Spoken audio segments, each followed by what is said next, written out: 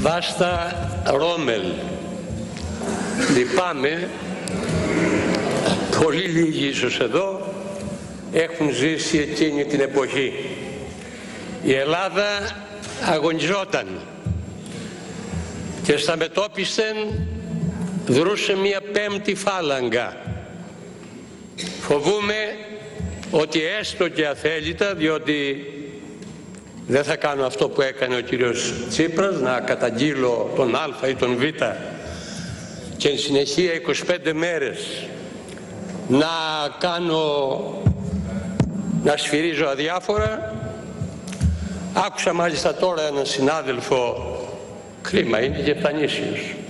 Εμείς οι γεπτανήσιοι είμαστε διαφορετικοί κάπως. Δηλαδή θεωρείτε και ηρωνεύεστε το Βενιζέλο διότι αξιώνει από τον αρχηγό σας αυτή τη λάσπη που έριξε πριν από 25 μέρες. Να έρθει να καταθέσει αυτή την πρόταση εξαστικής επιτροπής. Δηλαδή πρέπει να αιωρείται έτσι στα κανάλια, στις γειτονιές εκεί στις ε, τοπικές μας μαζόξεις στις συνιστώσεις μας στις εντός εκτός. Μια λάσπη 25 μέρες δυο σελίδες κείμενο δεν είναι σε θέση κάποιος από όλα τα επιτελεία του ΣΥΡΙΖΑ θέλετε να κυβερνήσετε κιόλας. Δύο σελίδες κείμενο είναι. Να γράψετε ότι γι' αυτό και αυτό κατηγορούμε τον κύριο Βενιζέλο. Εκτός όσοι τα άρπαξαν με τις συμβάσεις τώρα σας λένε γεια σας. Ε, να προσέχετε. Κυρίες και κύριοι συνάδελφοι, ελπίζω να ισχύει ακόμη στα αυτιά όλων μας γιατί ο ελληνικός λαός το άκουσε και περιμένει μια ανάλογη στάση από όλους μας. Αυτό που είπε ο Υφυπουργός Εθνικής Αμήνης ότι το τελευταίο διάστημα παρατηρείται μια υπερσυγκέντρωση στρατιωτικών δυνάμεων στον Εύρο και στα μικρασιατικά παράλια. Ούτε εκείνος πιστεύω ότι την δηλολογεί, ούτε εγώ έχω τέτοια διάθεση. Γνωρίζω όμως ότι κάθε δέκα χρόνια μετά τη μεταπολίτευση οι καλοί μας γείτονες δοκιμάζουν τις αντοχές μας. Και εξαρτάται από το σε ποια κατάσταση έχουμε τις ένοπλες δυνάμεις ότι κάποιοι δεν θα λέμε στους νέους ότι το Αιγαίο ανήκει στα ψάρια του γιατί μπορεί να χρειαστεί να πολεμήσουν για την πατρίδα όπως πολέμησαν οι πατεράδες τους ή οι παππούδες τους. Και ότι χρειάζεται και ο λαός να ενθαρρυνθεί αντί να πανικοβάλλεται και να ταΐζεται με μιζέρια αντί ελπίδας από τα τσοτοκάναλα στα οποία κάποιοι και από εδώ μέσα περιφέρονται και ο λαός μας θέλει ενθάρρυνση στην πίστη που παραδοσιακά έχει και στη δημοκρατία και στην πατρίδα. Αυτή τη σκέψη έκανα εγώ όταν άκουσα τον κύριο Βραβάκη διότι εδώ ως τώρα και έρχομαι και εγώ στην πρόταση της πιστείας που κατέθεσε η αξιωματική αντιπολίτευση μιλάμε όλοι για την αφορμή όχι για το περιεχόμενο θα ακούσατε συνάδελφοι σχεδόν όλοι, όλοι οι βουλευτές της αξιωματικής αντιπολίτευσης μιλάνε για την ΕΡΤ. Λέω σχεδόν όλοι ή σχεδόν, σχεδόν όλη η ομιλία σας. Ε, που και που θα πείτε και για τους πεινασμένους, άνεργους. Το θέμα είναι εάν από το καλοκαίρι του 10 βάζατε πλάτη και εσείς και η Νέα Δημοκρατία αντί να καίγεται η Αθήνα και εγώ θυμάμαι και τα βίντεο υπάρχουν. Έξω από τη Βουλή δεν ήταν μόνο η αγκυλωτή σταυρή του, της Χρυσής Αυγής. Δεν ήταν μόνο οι σημεοφόροι της δεξιάς. Ήταν μπροστά μπροστά στον άγνωστο όχι κάτω με το λαό που υπέφερε στον άγνωστο ήταν αρκετές από τις συνιστώσεις σας.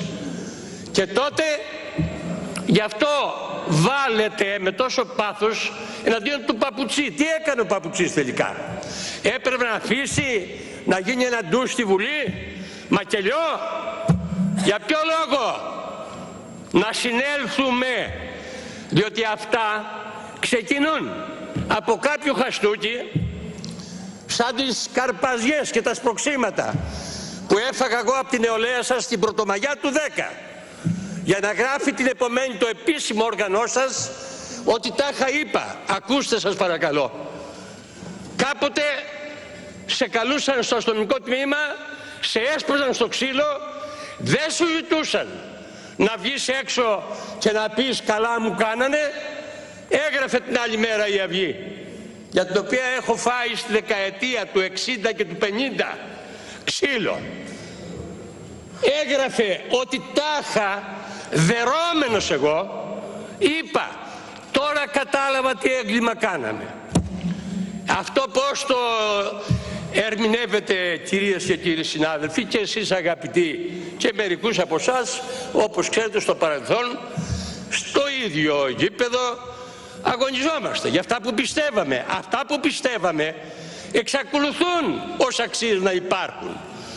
Ίσως κάποια άλλα πράγματα έχουν αλλάξει Κυρίες και κύριοι συνάδελφοι, πραγματικά ποιο είναι το περιεχόμενο αυτής της πρώτης δυσπιστίας; Ακούσατε τίποτε εδώ; Μόνο για ΕΡΤ και τα συνήθιτε καθημερινά. Μπορούσατε. Μία επερώτηση, ο κανονισμός λέει ότι μπορεί να συζητείτε επί δύο μέρες συνεχώς μια επερώτηση. Να την καταθέσετε και να μην δημιουργείτε αυτή τη στιγμή, βέβαια θα μου πείτε κύριο Σαμαράς γιατί να δυσαρεστηθεί; Μπορεί να νομίζει και θα κάνει λάθος βέβαια ότι έχει άλοθη και τα λάθη που κάνει, διότι μια κυβέρνηση δεν είναι λάθη της στο κάτω-κάτω.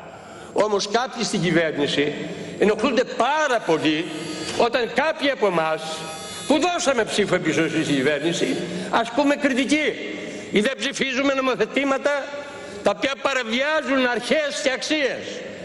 Αυτή τη στιγμή μπαίνουμε στα μέσα του Νοέμβρη. Εγώ ξέρω τι γίνεται κάθε χρόνο Νοέμβρη μήνα. Έρχονται οι ειδοί του Νοέμβρη. Και σας κάνω έκκληση να μείνουμε όσο γίνεται πιο ήσυχοι. Αυτό σας λέγω μόνο. Το χαστούκι και το σπρώξιμο είδατε τελικά που οδήγησε κάποιοι άρχισαν να βαράνε στο ψακνό δεν μπορεί λοιπόν να παίζει κανείς με τη βία. Ούτε επίσης, και απευθύνομαι και στη Νέα Δημοκρατία, αυτή η τεχνητή πόλωση που παρά τη διαφορά 4-5 μονάδων το Μάη του 12 είχαμε αυτή τη διαφορά και με τον ΣΥΡΙΖΑ και μια μονάδα παραπάνω με τη Νέα Δημοκρατία. Αυτή η τεχνητή πόλωση έβλαψε τη χώρα και αν όπως βλέπω επιχειρείται και η βία ακόμα και η κρατική όταν δεν χρησιμοποιείται εν μέτρο και υπερβαίνει τα όρια που οφείλει το κράτος ξέρω τι λέω. 4,5 ώρα το πρωί δεν ήταν απαραίτητο ξυπνώντας οι Έλληνες να ακούνε και από εκεί και πέρα και οι κύριοι του ΣΥΡΙΖΑ Παρακαλώ, ή οι ανεξάρτητοι να δίνουν την εικόνα ότι εδώ βρισκόμαστε σε έκτακτες συνθήκες. Εγώ έχω επενέσει το έργο του κ. Δένδια στο βαθμό που έχει αρμοδιότητες. Τέτοιες επιχειρήσεις ξέρουμε πώς αποφασίζονται. Κυρίες και κύριοι συνάδελφοι, θα ολοκληρώσω κύριε Πρόεδρε. Ναι, έχω δύο λεπτά. Έχω τη γνώμη, έχω τη γνώμη να κοιτάξετε κάποιοι τον εαυτό σας στον καθρέφτη. Θα γελάσετε περισσότερο. Ή θα κλάψετε. Εάν καταλαβαίνετε κάποια πράγματα από αυτά που σας λέω. Θα κλάψετε. Κύριε Πρόεδρε, κυρίες και κύριοι συνάδελφοι, χθες ο κύριος Μανιάτης μας είπε για τις προόδους που συντελούνται σε μια πολιτική που άρχισε στην επάρατη δεκαετία του 80 με την κυβέρνηση του Ανδρέα Παπανδρέου του Πασόκ με υπουργό τότε τον Αναστάση τον Πεπονή που συνεχίστηκε και συνεχίζεται και σήμερα είναι υπουργός, ο υφυπουργός στην κυβέρνηση του Πασόκ πιο πριν ο Γιάννης Σομανιάτης. Φέραμε ένα νόμο εδώ, μια πρόταση νόμου το Πασόκ. Όσοι απομείναμε από το αποδεκατισμένο Πασόκ που αποφάσισε ότι όταν όλοι λάκιζαν να πέσει στη φωτιά. Μια φωτιά που την άφησαν κάποιοι που έπειτα από 5,5 χρόνια την άφησαν αναμένη. Λοιπόν, κάναμε αυτή την πρόταση νόμου για το Ταμείο Εξασφάλισης των Γενεών γιατί εσείς οδύρεστε μεν για το ασφαλιστικό σύστημα όπως οδύρονταν πολλοί μέχρι το 83 που η κυβέρνηση τότε πάλι του Πασόκ πήρε τα αποθέματα των ασφαλιστικών ταμείων από την Τράπεζα της Ελλάδος που με 25% πληθωρισμό έπαιρναν 1% τόκο και έτσι υπάρχει σήμερα ασφαλιστικό σύστημα με όλα τα προβλήματα που υπάρχει. Αυτό το Ταμείο Αλληλεγγύης Γενεών δεν το ψηφίσατε. Ο εκπρόσωπός σας είπε δεν έχει τίποτε κακό ο νόμος, αλλά αυτός ο νόμος θα έρθει αύριο, λέει μια κυβέρνηση, από από ένα-δύο χρόνια και θα τον καταργήσει. Αυτή είναι η λογική που ενέπνε και τους πριν από εσάς στην τότε αριστερά να καταψηφίζει τον 1264 τους νόμους για τα δικαιώματα, για τον εκδημοκρατισμό της χώρας, για το κοινωνικό κράτος. Γιατί; Γιατί τα θέλατε όλα ή τίποτε είστε υπεύθυνοι και αν το τονίζω αυτό σας το λέγω μπας και καταλάβετε ότι πρέπει να αλλάξετε έστω και καταλάχιστον πορεία. Γιατί η χώρα χρειάζεται συνένεση στην κορυφή. Χρειάζεται αλληλεγγύη στη βάση, την κοινωνία.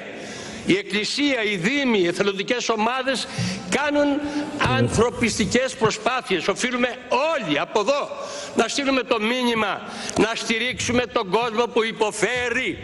Και η κυβέρνηση δεν μπορεί να αφήνει 1,5 εκατομμύριο ανασφάλιστη. Υπάρχουν τα άτομα με αναπηρία. Υπάρχει ο κόσμος που δεν αντέχει.